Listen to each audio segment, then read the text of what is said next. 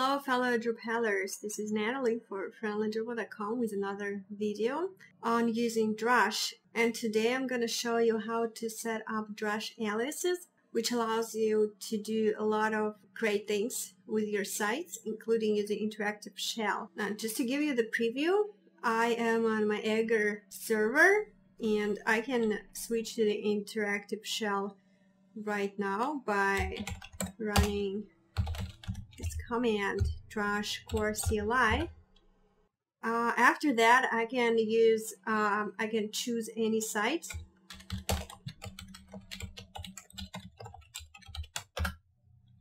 And then I can just uh, use drush commands without using the word drush. For example, I can run the update on my test site. Well, let's cancel that. And you can um, always tell the site aliases by um, using Drush SA.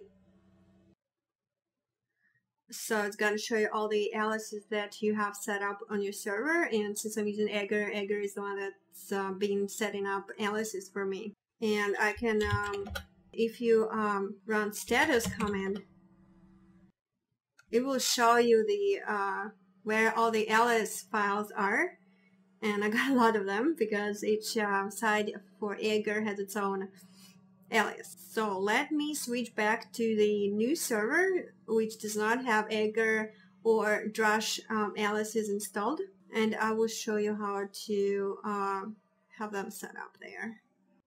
So now I am on my new server and if I run drush SA I don't see any aliases and if I use drush status I can see that no alias files have been set up.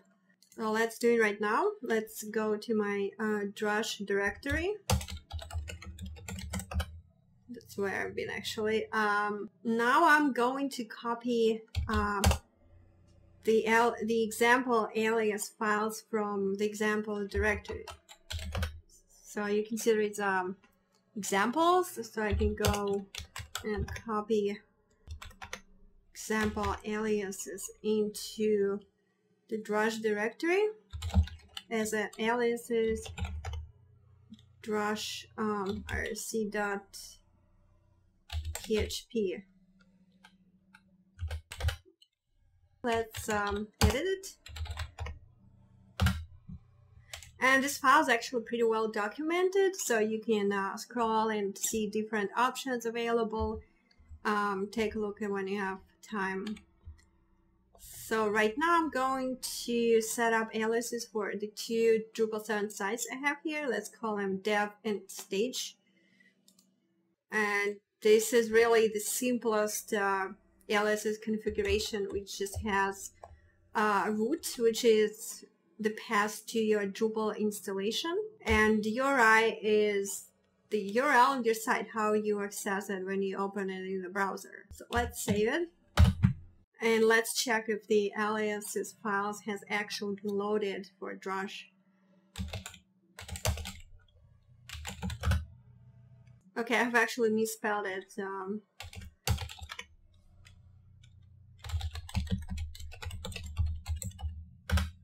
let's try it again. Okay, now it sees it. Well, kind of uses includes, but whatever. And if I use Drush SA, it shows both of the new site aliases here. So now I can actually load the site for Drush just using these new aliases. For example, um, Drush add dev status. Drush aliases also allow you to specify defaults for various Drush commands or paths. Uh, let's try doing something now.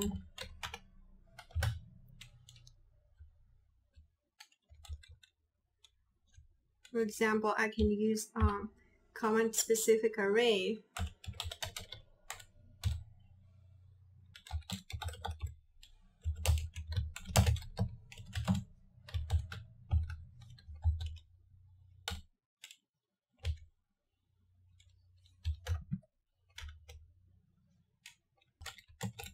Let's say I want to uh, I want to see the password uh, when I um, use the status command.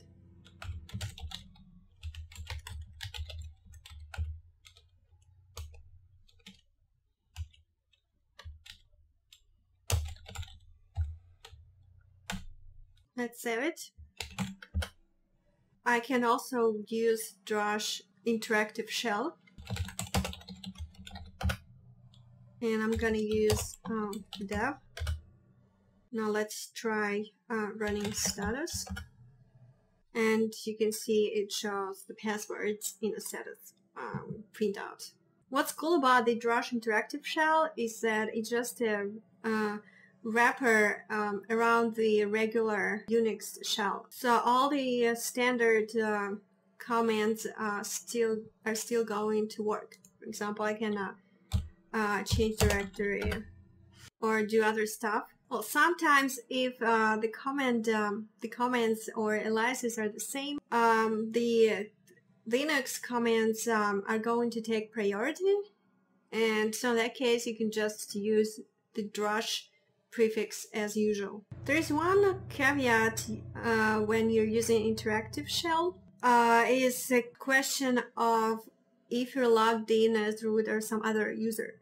For example, I'm logged in as root on my test server, which is not a really good idea on production for the production environment, uh, primarily because security reasons. So normally, if you're using cPanel, you would have different users. If you are using Aegir, like I usually do, the sites are run by the Aegir user, or sometimes it can just be Apache or www-data.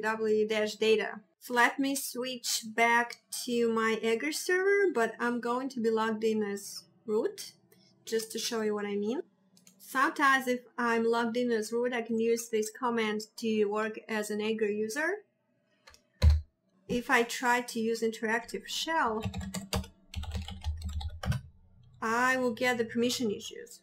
So there are two ways around it. First, you can simply um, exit and as root just chmod um, change permissions on uh, this directory, which you will have to do every time you uh, start a new session, which is kind of annoying. Or you can simply actually log in as your Aegir user or whatever user you're using.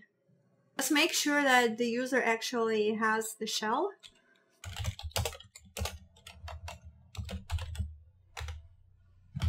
And you can do it here. So you can see that um, my Aegir actually has a shell and give this user a password or you can use the RSA key authentication that works.